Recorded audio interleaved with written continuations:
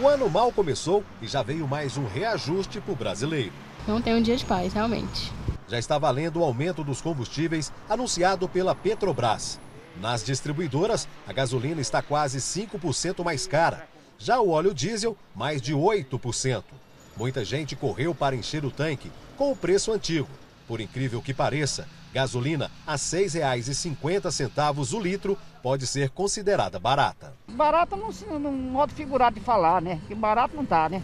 Em Goiânia, o litro da gasolina comum, que era vendido entre R$ 6,49 até R$ 6,99, agora custa quase R$ 7,50. É questão de tempo, a gente acredita que nos próximos dias aí, possivelmente os postos comecem a se movimentar e adequar seus preços à nova realidade. Apesar de ser o primeiro reajuste em quase 80 dias, o consumidor brasileiro tem medo que se repita em 2022 o que aconteceu no ano passado, quando os combustíveis subiram muito mais do que a inflação.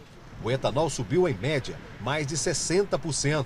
Já a gasolina e o diesel, quase 50%. Já nos preocupa muito iniciar o ano com esse reajuste e a gente espera que não seja um, a sequência do ano, não seja como foi o ano passado, com reajustes elevados e que tem prejudicado tanto o empresário quanto o consumidor, né, que tem se privado aí de poder se locomover com facilidade. Com o combustível caro demais, cada um arranja um jeito de economizar. Meu pai que usa para trabalhar todo dia. E, aí, e ele assim... gasta muito. Inclusive ele está até dividindo um carro com um amigo dele para pegar carona para ele dividir a gasolina.